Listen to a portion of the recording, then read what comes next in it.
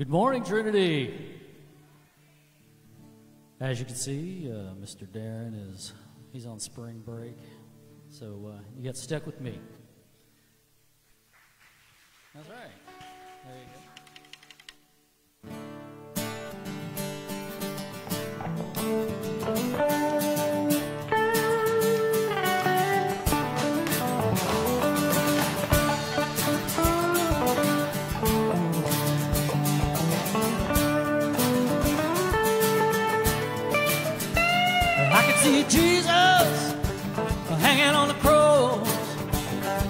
See Jesus hanging on the cross. I can see Jesus hanging on the cross. He came looking for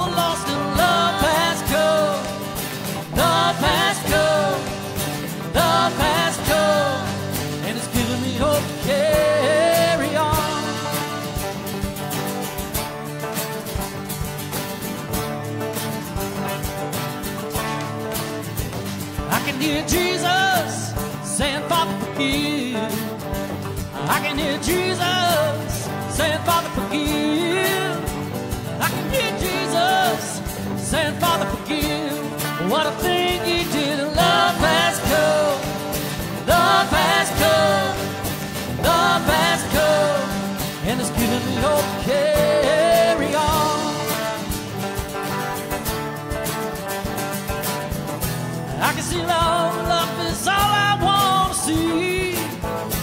Love can make a bag of rich, you can set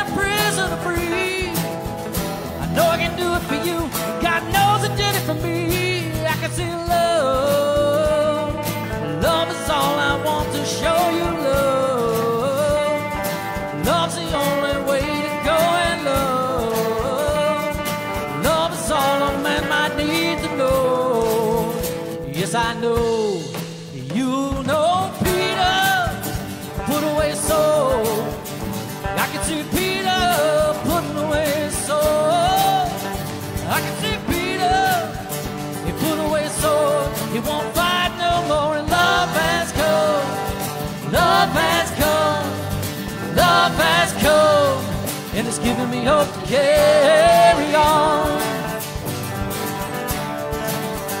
Gotta carry on.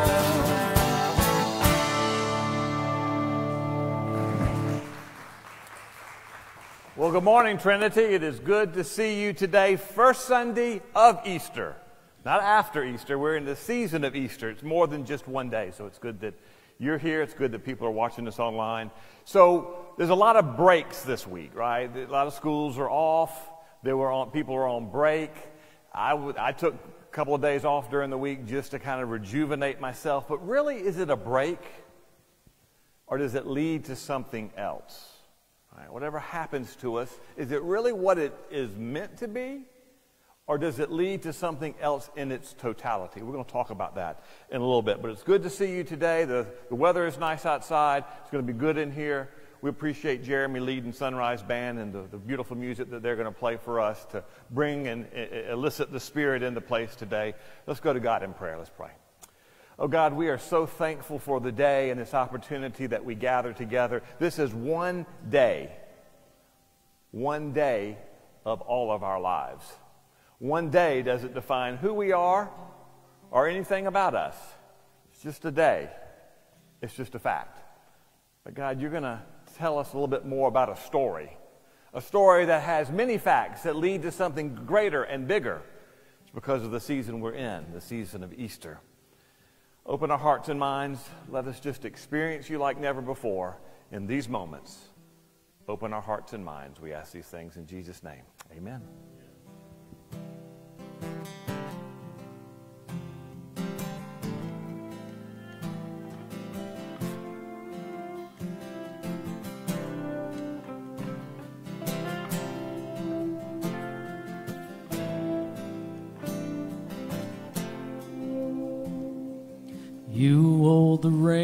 On the sun and the moon, like horses driven by kings.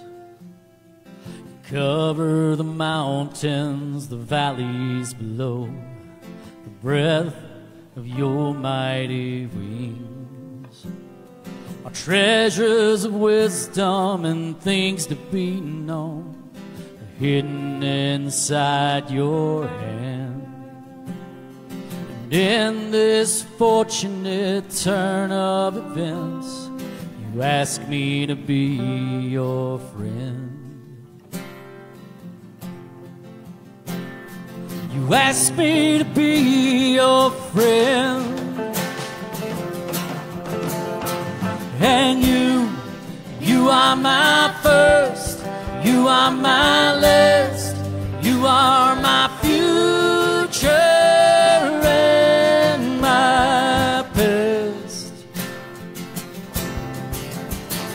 And you, you are my first, you are my last, you are my future and my past.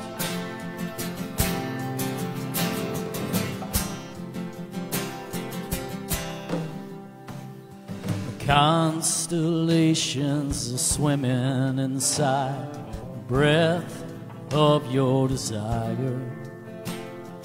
Where could I run? Where could I hide from your heart's jealous fire? All treasures of wisdom and things to be known are hidden inside your hand. And in this fortunate turn of events, you ask me to be your friend. You ask me to be your friend. And you, you are my first, you are my last, you are my future and my past.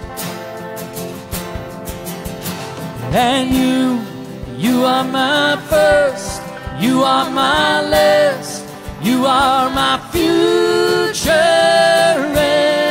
my past.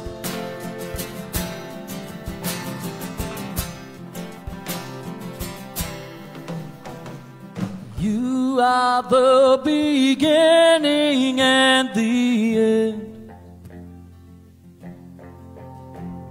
You are the beginning and the end.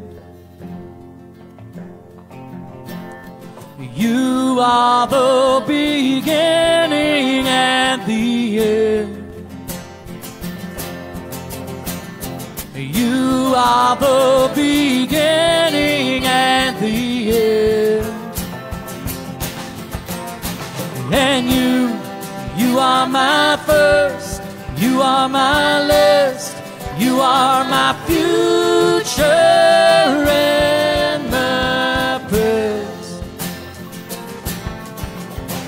And you, you are my first, you are my last, you are my future and my past.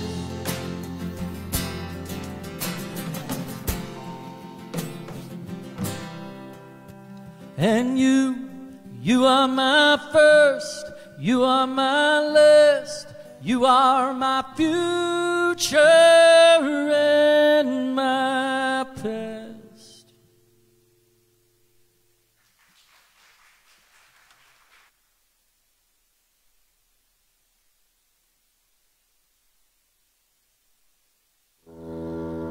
My name is Thomas, and I struggle with doubt.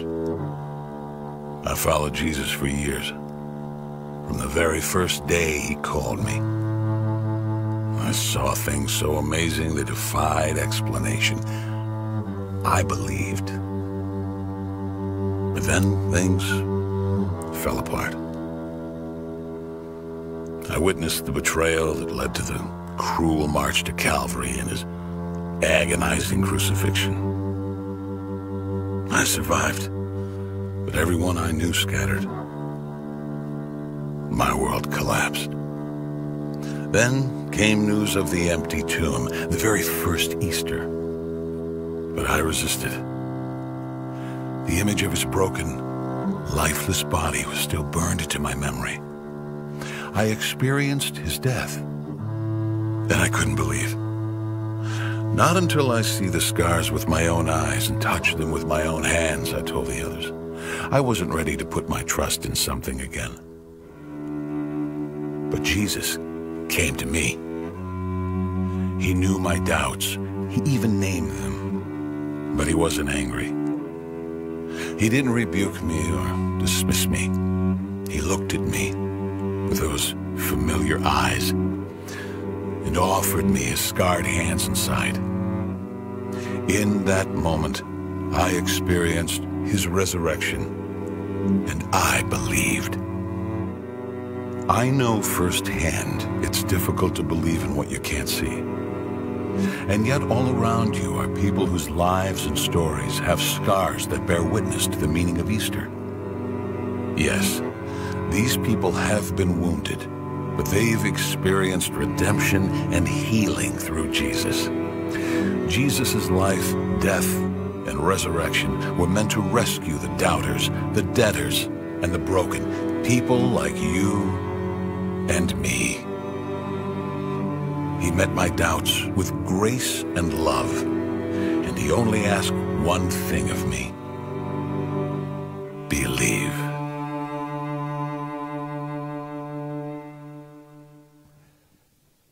So that is who we're talking about today Thomas. Right? When I say the word Thomas in this situation, what's the first word that comes to your mind? Doubt, right? That's right. So we, we, we think about that and we call him the doubter. I'm going to read some scripture and then we're going to talk a little bit. Maybe that'll change our perspective a little bit about who Thomas is. Let's go to the Gospel of John, the 20th chapter, verses 19 through 31. When it was evening on that day, the first day of the week, and the doors of the house where the disciples had met were locked for fear of the Jews, Jesus came and stood among them and said, Peace be with you. After he said this, he showed them his hands and his side. Then the disciples rejoiced when they saw the Lord. Jesus said to them again, Peace be with you. As the Father has sent me, so I send you. When he had said this, he breathed on them and said to them, Receive the Holy Spirit. If you forgive the sins of any, they are forgiven them. If you retain the sins of any, they are retained. But Thomas, one of the twelve, was not with them when Jesus came. So the other disciples told him, We have seen the Lord. But he said to them, Unless I see the mark of the nails in his hands, and put my finger in the mark of the nails, and my hand in his side, I will not believe. A week later, his disciples were again in the house, and Thomas was with them. Although the doors were shut, Jesus came and stood among them and said, Peace be with you. Then he said to Thomas, Put your finger here and see my hands. Reach out your hand and put it in my side.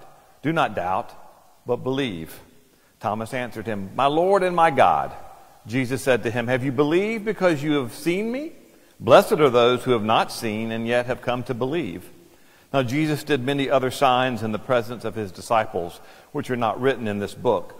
But these are written so that you may come to believe that Jesus is the Messiah, the Son of God, and that through believing you may have life in his name. I told you, you know, there's a uh, spring break for many, many students, many schools this week. People are traveling, maybe just getting back today. Like I said, I was off for a couple of days this past week to just rest and relax, right? We need some time, is what I might say. But time is one of those things that can be fleeting. We don't know what time really means or really is. I'm wearing this green bracelet today for a 12 year old girl who has scoliosis, very severe. Time is not on her side, or so we believe. But that's not what we're going to believe. She's getting ready to have a surgery and got a lot of road ahead of her. She has scoliosis, and that's a fact. But that's not her story. We're going to pray for this young girl, and God's going to do what God does. But, what happens in a situation like this when we pray? We pray, we want something to happen when? Now. And it usually doesn't happen when? Now. It happens over time. So, the disciples are in the room where they had fled to once Jesus was crucified. Here we are a week later after Easter, and the disciples are still in this room. Did the resurrection mean anything to them? I think if you look at this, you would probably say, nope. They're the same old disciples who didn't believe a word that Jesus had said. They're still behind the locked door. We've just finished saying Christ is risen indeed, hallelujah, and had a great Sunday. By the way, I haven't found any more furniture on the side of the road. If you were here last week and heard me talk about the love seat, not found any more furniture on the side of the road, but I'm still looking. But the reality is, is that the disciples are in the room and they're behind locked doors. So really, is the resurrection a big deal? Is it, if it's such a life-changing event, why didn't they not go on and do some great things? Why did they not just go on? Why did they lock themselves? Now the scripture does say for fear of the Jews. It is in there. But if the resurrection is everything, they don't need to be afraid. So my question to you is what has the resurrection done for you? Okay, you don't have to tell me, but I'm guessing that your life isn't any different today than it was last Sunday. Or really Friday. Or, right, it, it, it's not really the same. Nothing really has changed because of the resurrection. We can come to church and not even have to talk about that. And your life isn't really, really, it's not really changed, is it? You don't see that immediate change that happens. We look into the world, it looks just about the same. Now, when I look out, I see the, the trees have leaves that have blossomed and come out a little bit more, but otherwise, everything looks basically the same. I don't see a lot that has changed. It's easy for us to be critical of the disciples, right? Because we believe we have all this knowledge, we have all this history, and we can just determine this, and we know that Jesus has done this, and we believe, and we believe, and we believe. I used to be critical of the disciples until I started preparing this this week, and I really had to look at my own life and thought, has my life changed because of the resurrection? And if I said just today, the answer would be no. But we're not going to talk about just today. I, I, began thinking about what all of this means, and Christ's resurrection is a big deal. Right? I mean, it is why we gather. Without the resurrection, we go home. It's just nothing. We stand behind locked doors and we're afraid of the world. However, that's not what happens. The empty tomb is a life changing event for all of us. The resurrection does make a difference in our lives. And here's the thing that we don't like to hear it also takes time.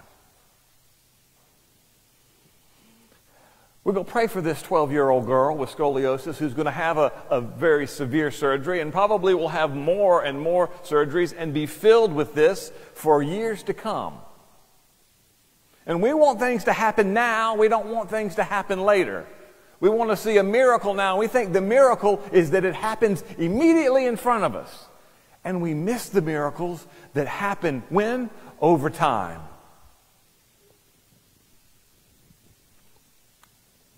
Resurrection takes time. If you don't hear anything else today, hear that. Resurrection takes time. So when people come to me and go, well, Pastor, I prayed for my, my dying loved one and they still died.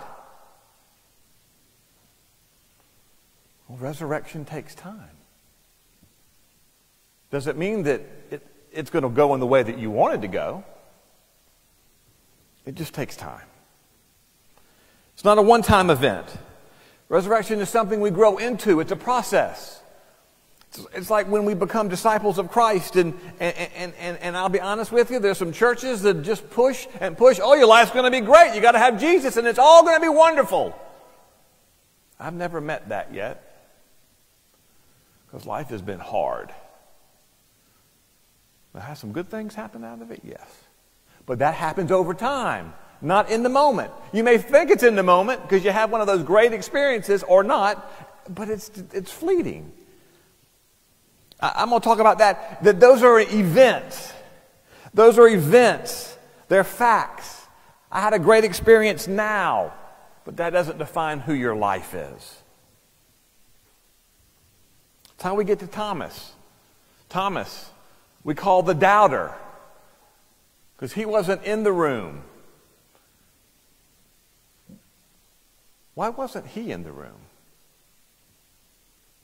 In fact, if you look at it, wasn't he the brave one of the bunch that went behind the locked door? Hmm.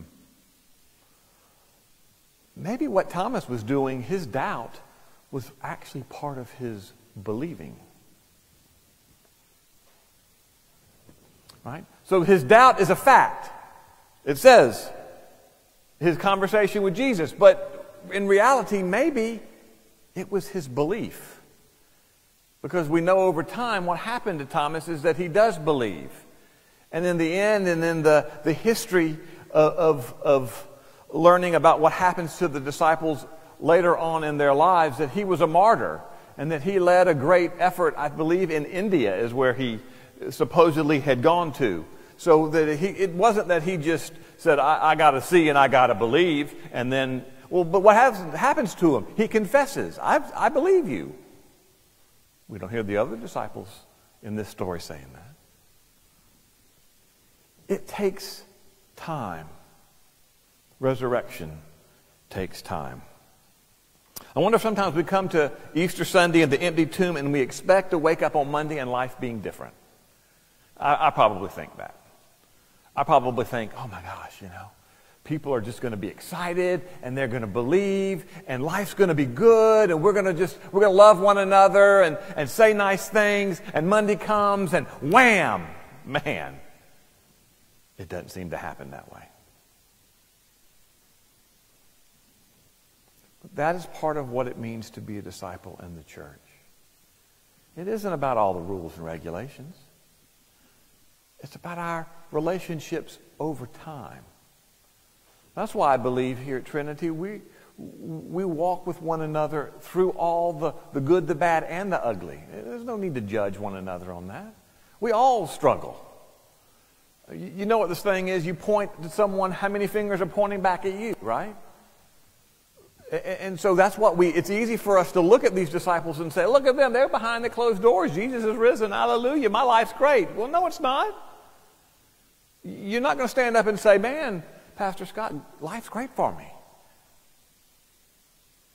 Today may be a good day for you, though.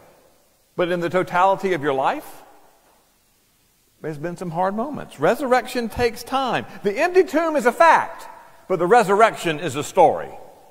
So facts are one instance, it's a snapshot.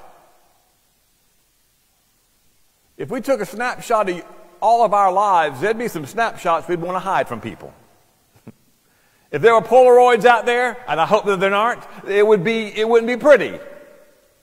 But if we make a movie of the resurrection of our life and see it in its totality, we will see that resurrection takes time. I'm not the same person I was when I was 21. Neither are you. Because resurrection takes time. This 12 year old girl is going to go to surgeries and we're going to pray for her and we're going to wonder, God, how are you going to do this? What's going to happen? The story that's going to happen is that all of a sudden people are going to be praying all over the world for this young girl, and doctors and nurses and staff are going to do what it is they're called to do, and we're going to believe that God's going to do what God's to do. It's not for us to, to determine the outcome resurrection takes time. Because in the end, if when we die, it took that long for resurrection to happen, right? We need to be mindful of those things. That resurrection is a story. Maybe we need to understand this resurrection as that movie of our life all of the facts put together that leads to something greater. The facts are just the starting point of the story. What happens today is a starting point moving forward. What happened to the disciples and the empty tomb and the resurrection and for Thomas was the beginning point to go forward. We don't always believe. We, we doubt. It's okay to ask questions. I don't know if you've grown up in a church that refused to listen to questions, but I'm one that believes we, we need to ask questions. That's how we learn. That's how God speaks to us. If you just believe everything I say, then I can say anything I want. But I hope we would ask questions and go, huh, let me go back and look at that. I'm not sure I understand that. That's why we have disciple courses and other small groups that we gather together and we talk about these things. We talk about life. You know, when, when you're a parent for the first time, you don't have a manual that says this is how you do it. What happens? You talk to other people. Or, for the best part, is you just make it up as you go. Right? Amen on that. You just make it up as you go. And some days, you feel like you're the worst parent in the world. But over time, resurrection takes time. Your parenting should be looked at over the totality, not one day or one moment. Your life should be the totality, not one event that happened. I, I, say this a lot, and I've unfortunately had the opportunity to speak at several persons' funerals who have committed suicide. Now, you're talking about something that's, wow. However, one event doesn't define somebody. We say that now, we say that then. That's what I say. And I believe God believes that. I believe that's what God says. One event, it's an event, it's not a story. Because what's the story behind the one event? What's the story behind this resurrection?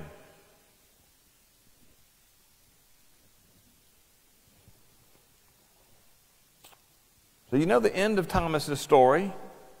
He died, he went on, it took time, he came around, he was a great disciple. So, what's going to happen to you? What's your starting point? How are you going to move forward? Where are you going? What's the next steps that you're going to take? Well, let me ask you this. So, we're locked behind doors of our own lives, just like the disciples. We can laugh at them. Ah, look at them. Yeah, but we lock ourselves in rooms, figuratively, and we're afraid to step outside. Because why? Many reasons. But what are the doors that are locked in our life? Because remember what happened? Jesus walked into that room. He didn't need the door. So Christ can walk into the room of our lives. And I think that's important for us to remember. The walls and the doors are all around us, but we do not have to be afraid. He steps into the midst of our house. Speaking about stepping into the midst of our house, Bonnie Riley, will you raise your hand over here? Bonnie Riley is our new youth director and adult discipleship director. She starts today. Her time clock starts today. Now, she, so let's welcome her.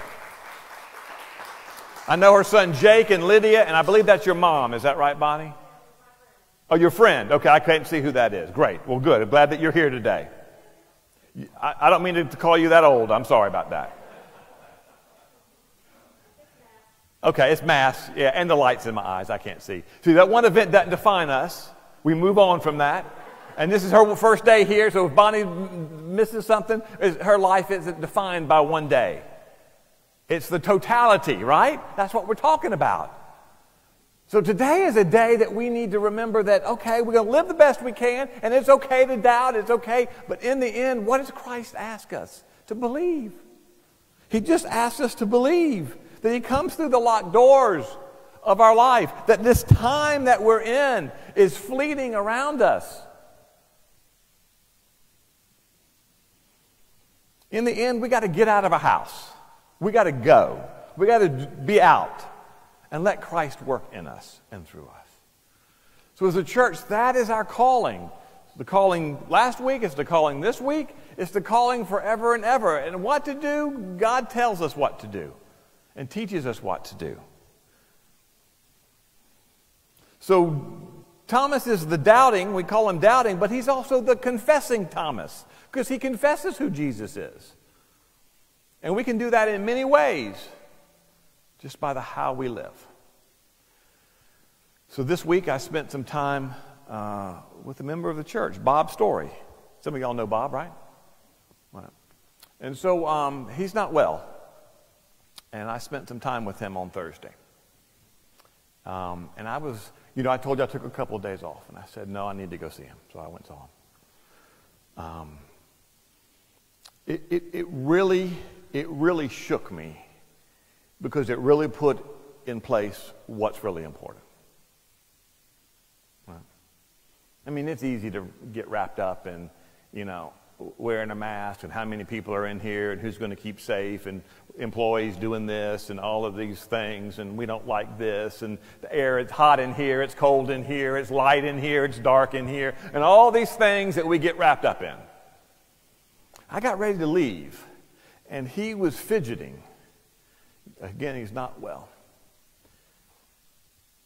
And he stuck his fist out so i kind of fist bumped him i'd given him communion a little earlier because he had asked me to come and, and do that gave me a little fist bump I kept fist bumping him. And then he did like this opened his hand. And I shook it. And I looked into his eyes. That's the totality of our life happens. It can't happen right before our eyes. The call on the way into church this morning is that Bob died last night. Now more than ever, my visit is more than just a visit. Friends, I'm telling you, we can nitpick all we want. But this journey of life, you know, it may be hot in here to some, but that's a fact. But the story of our life, when you're getting ready to die, you aren't going to care. But I hope that someone's standing with you. Right? Christ stood with these disciples in a locked door, in a locked room, and they were afraid. Christ stands with you in your locked room and door with the doors locked when we're afraid. Right? That's what we're talking about. We need to get out of these locked doors and locked rooms. We need, to, we need to, to live our life and just be aware that facts can be facts and, and I get that. They have a, a place and a role in our life. But when the facts become our story, then that's a problem. Let our story be the story. So we mess up today. Guess what? No one has lived tomorrow. No one. No one's lived tomorrow. No one's lived, what time is it? 1004. Well, no one's lived at 1005 before in this country, at this place. Now you can say, well, Scott, you know, around the world and around the globe, see, that'd be facts. Right here, right now, no one's lived, right? No one's lived. And so that's what we, we, we want to be able to, to hear. It, it, so it's okay to adapt. It's okay to not understand. Because Christ will come in front of you. And I pray, just like Bob took his hand and took it out to me. That's what Christ is saying. Come. Here, I got you. Just give me your hand. Just give me a hand. So get out of the house. Don't let it, don't let it overtake you. So I'm going to ask us just uh, take a deep breath in. Take a deep breath in and then let it out. That's the spirit within you. That's what guides you. Not up here. In here. That's what guides you. Right? We can have all the smarts, but facts live up there. The story lives here within our heart. I pray for hope and courage and strength for the 12 year old girl that I wear this band for for Bob Story's family, the days ahead for them, and for you. You will find that hope and courage. You will not let, you will not be afraid. And if you are afraid and if you doubt, that's okay because Christ is still going to come among you. And I hope someone's with you at the end of your story. Oh, interesting. How about Bob's last name? Story. Right? See how that works? See how that all ties in together? He lived a great story, 90 years old. We'll remember them. So get out of the house. You've got strength. You've got power. You've got glory, all in the resurrection. But remember, resurrection takes time. Let's pray. Oh God, we're so thankful for this opportunity to gather together today, to, to be in this place, and to, to eh, eh, just be with one another. God, we come with family and friends, and we, we worship together in the ways that we do. We enjoy hearing your word. We enjoy the music. We enjoy just being and living and breathing. But God, life does, does come at us hard and fast. And we pray. We pray that whatever comes our way, oh God, we know that it won't define us, but that it is just part, part of the story that comes, that will come before us. We've yet to live the rest of that story. Why don't we just start today? God, this is the uh, first Sunday of Easter.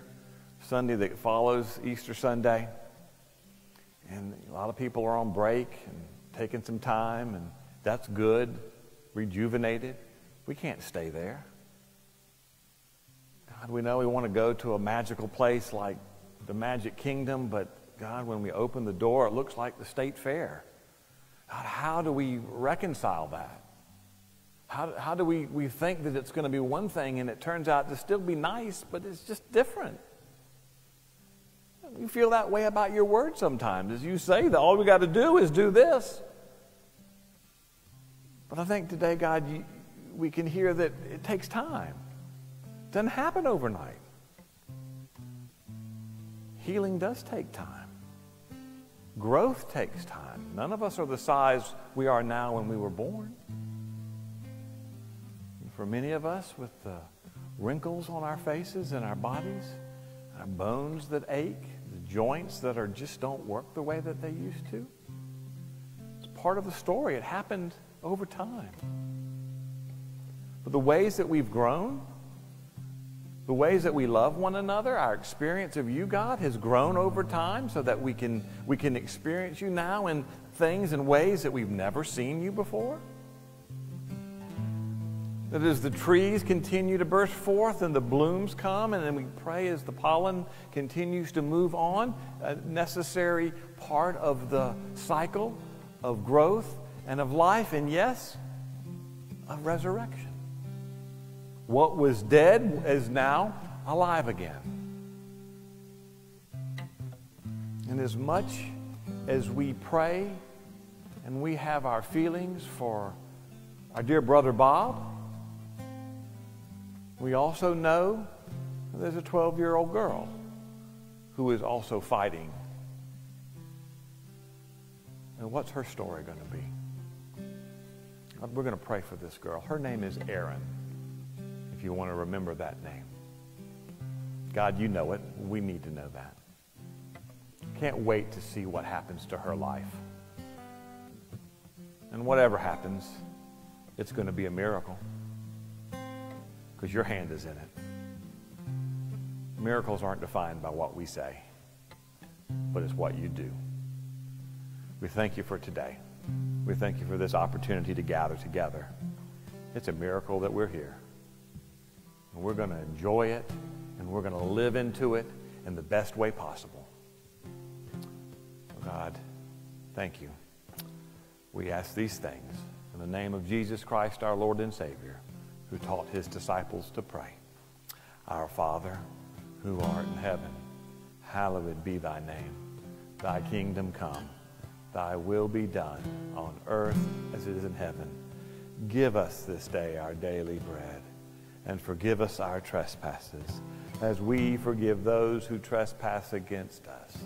And lead us not into temptation, but deliver us from evil. For thine is the kingdom, the power and the glory forever. Amen. Get out of your house.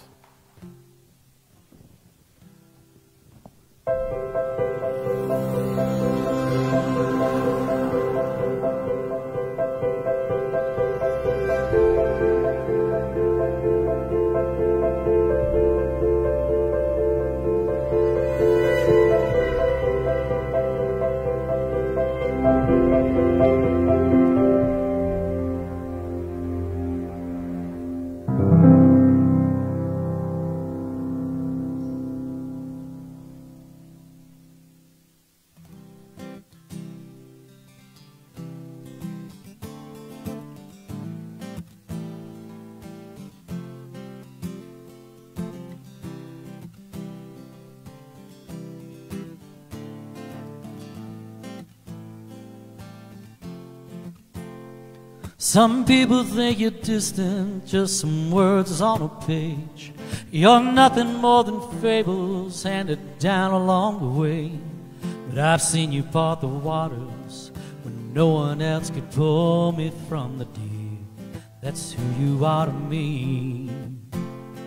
Some people think you just live in cathedrals made of stone. But I know you live inside my heart. I know that it's your home.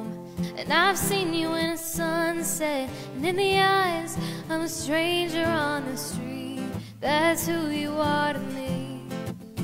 You're amazing, faithful, love's open door. When I'm empty, you fill me. Hunger for more of your mercy, your goodness. Lord, you're the air that I breathe. That's who you are to me.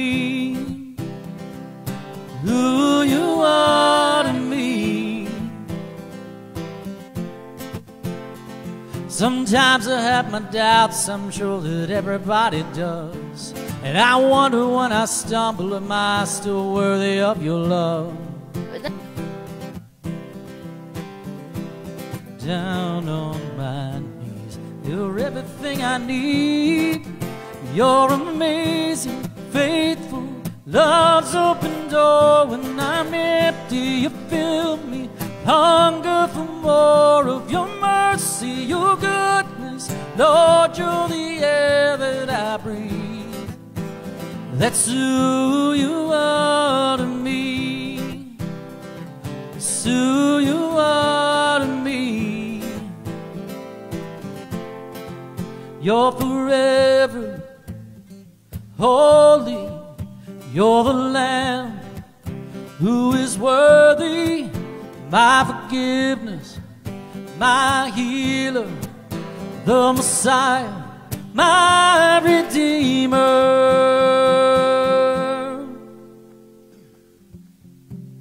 You're amazing, faithful, love's open door. When I'm empty, you fill me. Hunger for more of your mercy, your goodness. Lord, you're the air that I breathe. That's who you are. You are greater, higher, over it all in your presence, Jesus. I stand in awe of your mercy, your goodness. Lord, you're the air that I breathe. That's who you are to me.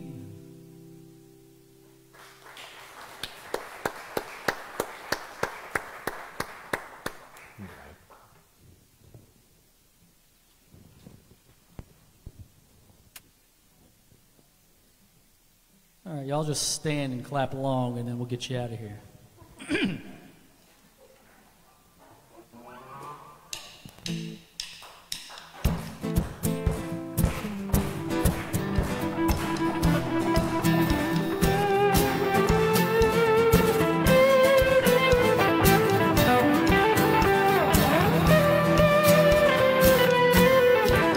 I know a place where we can go to lay the troubles down in your soul. I know a place where mercy flows. Take the stains, make it whiter than snow. Like a tide, it is rising up deep inside. You're welcome. That It does. you. I- I- I- I knew that you would- that brings the dead to I knew that you- Whoa, whoa, oh, oh. We're going down to the river, down to the river, down to the river to pray. Let's get washed by the water, washed by the water, rise up in amazing grace. Let's go down, down, down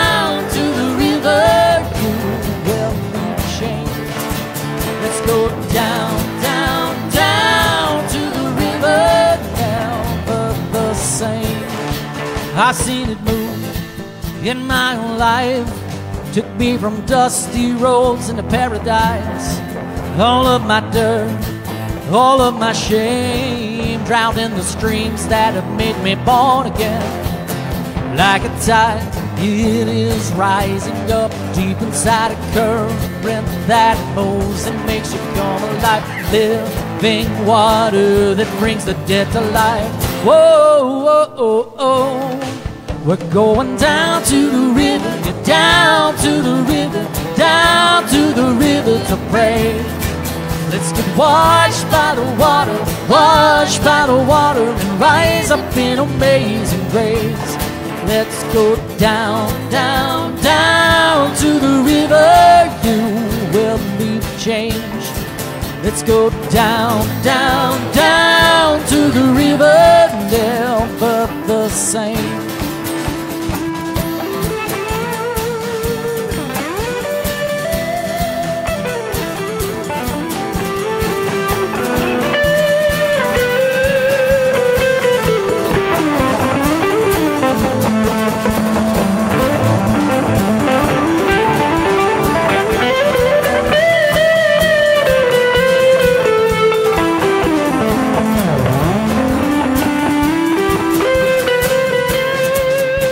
Like a tide. It is rising up deep inside a current that moves and makes you come alive. Living water that brings the dead to life.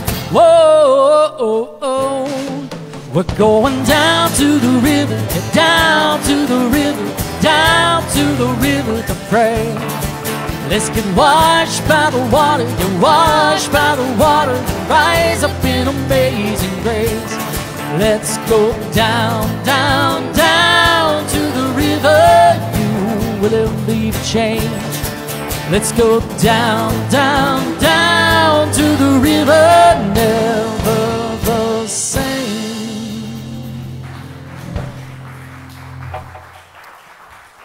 So when we go down to the river, we're never the same, but remember it takes time. Doesn't happen all overnight. So this is just today is a fact right here, right now. But it's not your story. What are you, what's your story going to be? What's your resurrection story going to be? I hope it's full of courage and hope and in love. All in Jesus' name we go. Amen.